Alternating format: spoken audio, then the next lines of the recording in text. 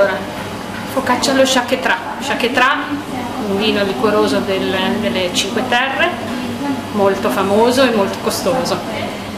Abbiamo usato delle mele golden, ma potevamo usare delle mele renette, insomma delle starche, tagliate finemente insieme a uvetta e pinoli. Allora mettiamo lo chaquetra e li lasciamo in infusione per circa mezz'ora. Sgusciamo le uova e le montiamo insieme allo zucchero.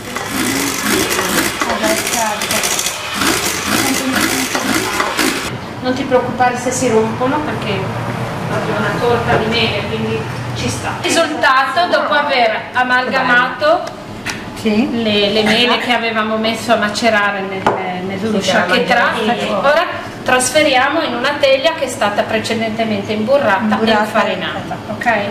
E inforniamo per circa 35-40 minuti a 180-200 gradi. Una torta